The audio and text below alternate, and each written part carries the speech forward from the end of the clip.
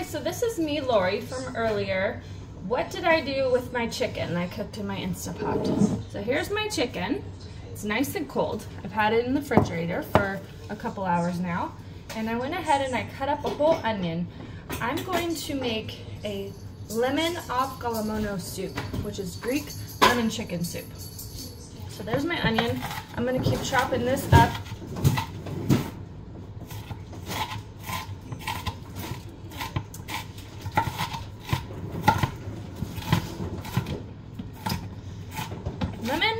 chicken soup is the most delicious soup I've had. I ate this quite a bit when I was pregnant with one of my kids, third child. I loved eating Greek soup. And then, and I used to go to a restaurant um, that was by my house that ended up going out of business and I loved their food. It was so amazing.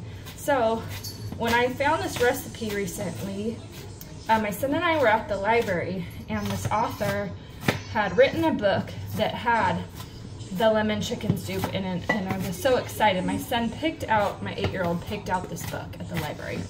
So I didn't even pick it out myself, which I thought was awesome. And this soup recipe was in there. And I was like, oh my gosh, if that's my favorite, I have to make that soup. So far, I've made it like five times after we've gotten the book. Like it was just maybe six months ago that he found it. And I've made it, well, maybe more than that. I don't know. I love the soup. So, like once a month, twice a month I made it. So, it takes quite a bit of onions. It takes the whole chicken. It takes eight cloves of garlic and like five carrots, a bunch of lemon juice, and white rice. Have to cut my onions as small as I can because my husband, he hates onions.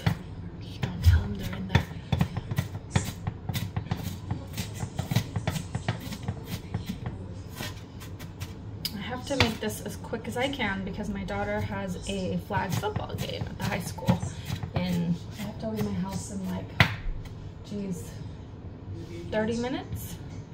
So hopefully this will cook quickly.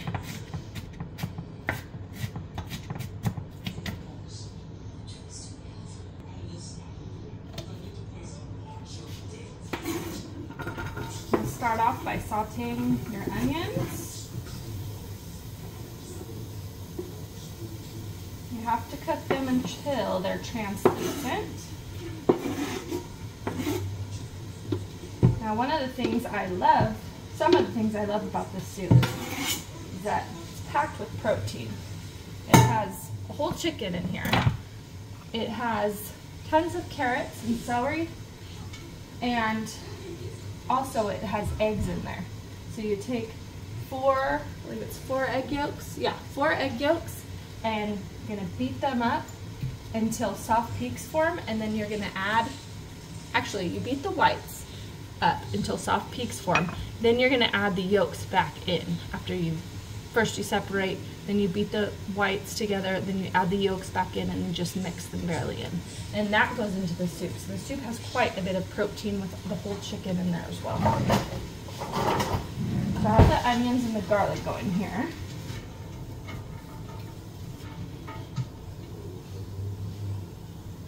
Once that's done, I'm gonna throw in the carrots and the celery and then add in some seasonings. While that's going, I'm gonna start chopping up my chicken here.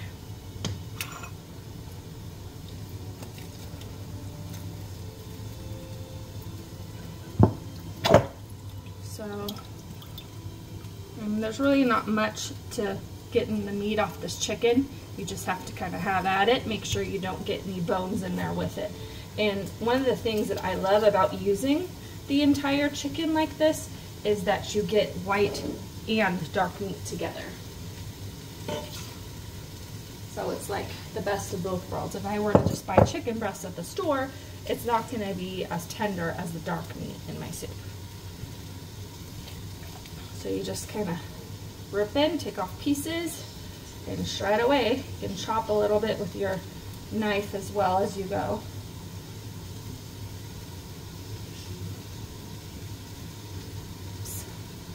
Oh my gosh, so I managed to spill like all of, well, not all, but some of my day out the fridge when I was taking it out. And it's on my Birkenstocks, damn it. Dog likes it. This is what's going on here. Just trying to simply pour this broth back in.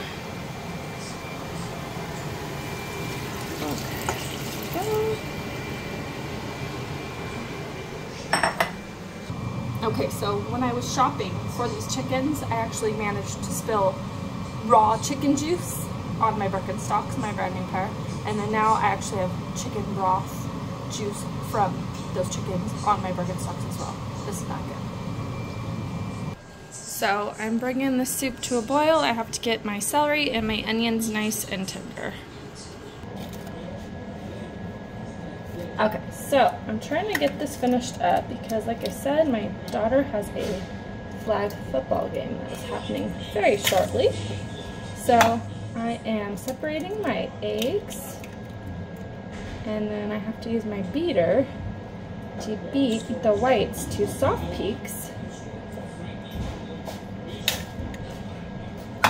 And then I have to squeeze my lemons. I need about six lemons. After I incorporate the eggs in, I'm going to put the lemon juice in.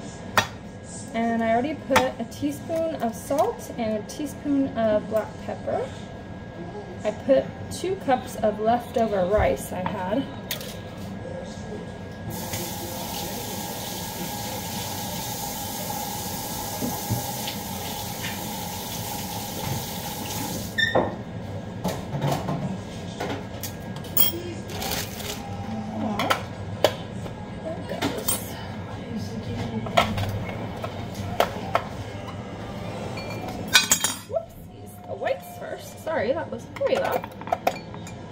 Sometimes this comes down.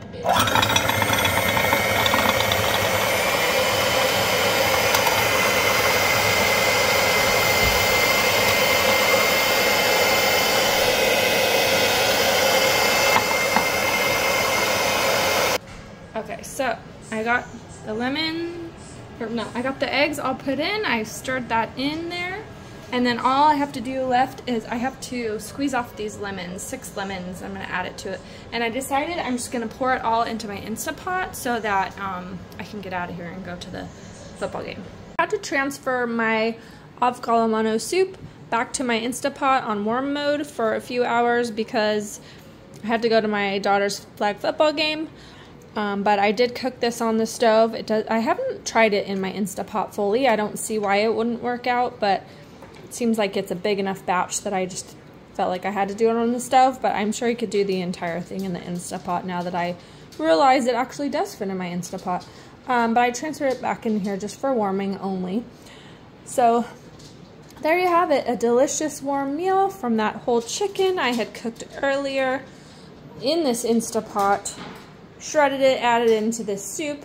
Super easy, super delicious, super healthy. I mean, this soup has six lemons. It has eight cloves of garlic, has a whole chicken. It has chicken broth, carrots, celery, a whole onion, and this will serve about 12 meals. Now this recipe I found from the library, and I will put a link in the description below. I hope you enjoy. See you next time.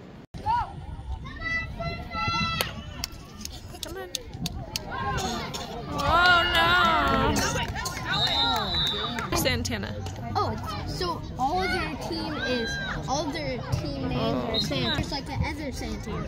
Yeah, nice.